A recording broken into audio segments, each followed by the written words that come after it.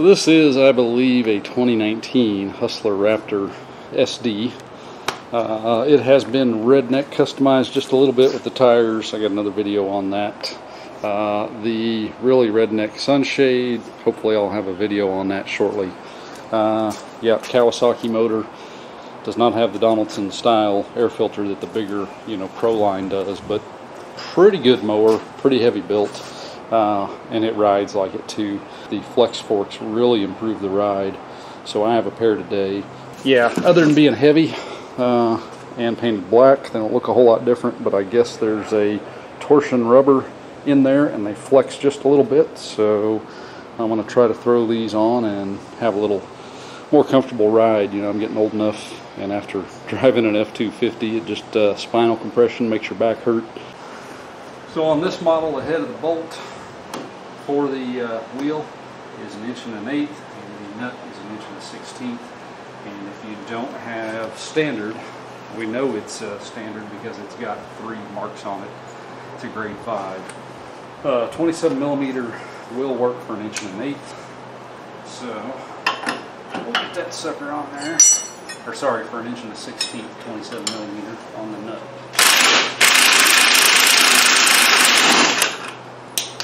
And off the nut comes. Okay. So washer on the outside, both sides. Not going to matter which way you put the wheel, there's no offset, but our valve is on the outside. That's where I prefer it. So that's how I leave it. It is a three quarter and I've got safety goggles that I should have had on the first time, but especially now it's not an impact socket. Some odds of it coming apart. Okay. There's our collar that we're going to need to reuse. Nice bearing. Uh, actually, we're going to have to pull and reuse the bearing too. So, on that lower bearing, okay, it's going to slide off there. I'm not going to worry about pressing it. They are sealed bearings. That's kind of nice. Lots of cardboard dust on this thing. It looks like it's been in a box for years. Or just shipping dry cardboard and bouncing around.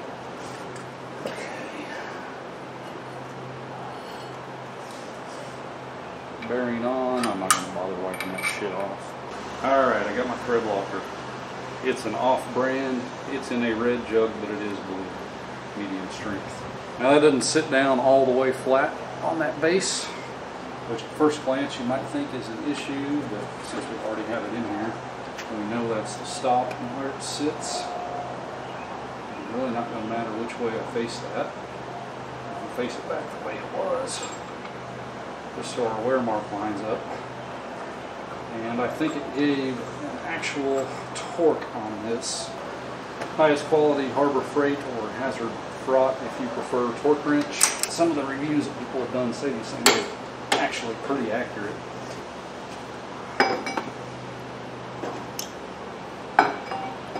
interesting, making sure my valve stem's out here on the outside where I want it. When that turns around, it's going to be on the inside. So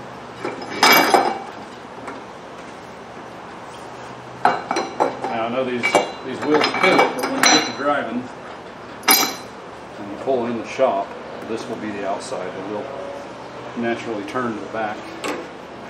No Loctite needed here. Since it is a nylock nut, you can see the insert.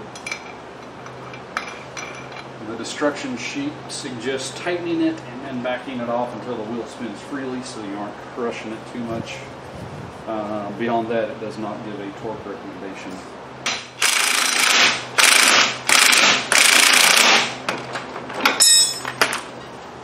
that's a little tight. There's a little drag there. So, see that, do the final pinch in. Let's back that off just a little. You don't want it loose and slapping around in there. That spins free. Let's see. I a helper to keep that spinning for me.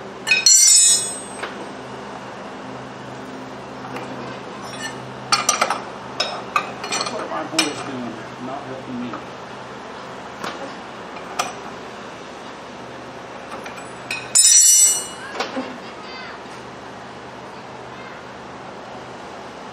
And just grab it, feel any inplay in there. I think we can call that good. Don't have any inplay there. Speak of. Oh, there's the new whistle. All right, so that's it. One side down. I move on to the other side.